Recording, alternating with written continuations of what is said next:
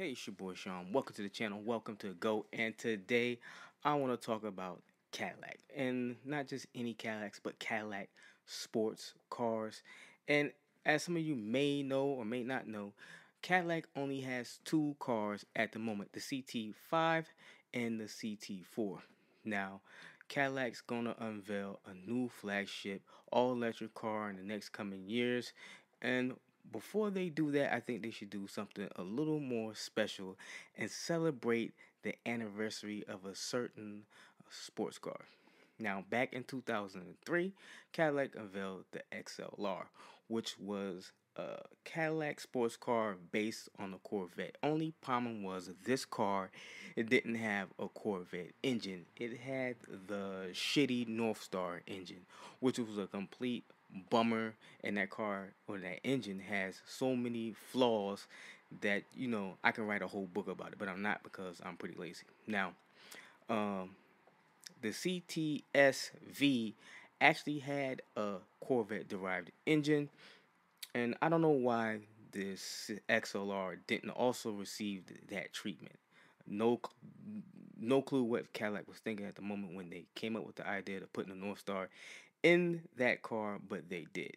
Now, almost 20 years later, I think they should revisit that car and make a model based on the new mid-engine Corvette and actually put that Corvette engine in that car. Now, as some of you may tell, I'm actually a pretty big fan of Cadillacs. I made a ton of videos about them. They're my most popular videos on the channel. So yeah, I like running my mouth about Cadillac. And I do think for the 20th anniversary for the XLR, they should make a C8 Corvette version of that car. Now, this car can be more special than the C8 Corvette because Cadillac's name holds more weight than Chevy's, and people won't have an issue with paying that premium price for a Cadillac. But they cannot skimp out on features and luxury because that was what people come to expect from a brand like Cadillac. So they would have to make the car a little more luxurious than the Corvette because if people wanted a car with less luxury, they get the Corvette. But we're trying to sell a Cadillac and a Cadillac sports car. And I do think that this car should be more capable than the Corvette. It's just what I think for the market and what people expect. They expect the Cadillac to outdo a Corvette, no problem. This is going to be a supercar, bar none. Nothing hold back. There should be no base model, just a V, nothing else, and it should be limited production. I'm talking like a hundred cars, and the price is always going to be up to them. I'm not in the market of setting prices for companies. And it is important for people to see this car as a halo car to get people interested in Cadillac's other sports sedans, such as the CT5 Blackwing and the CTV Blackwing, and the other V model cars that are available today.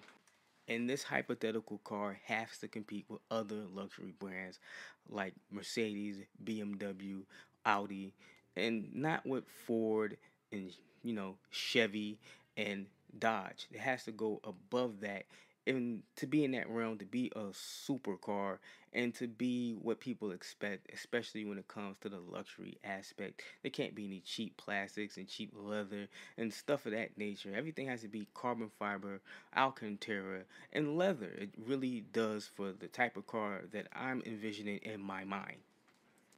And I'm not gonna step out of the realm and say it also has to be a plug-in hybrid or some craziness. No, it has to be, you know, just a step above or a couple steps above the C8 Corvette and be more capable uh, than that car and be more limited than that car. It just has to be something premium that people are gonna go out and buy and not worry about their car losing value as soon as it comes off the lot. You know what I'm saying? You get what I'm saying. I know you understand this because we are car people.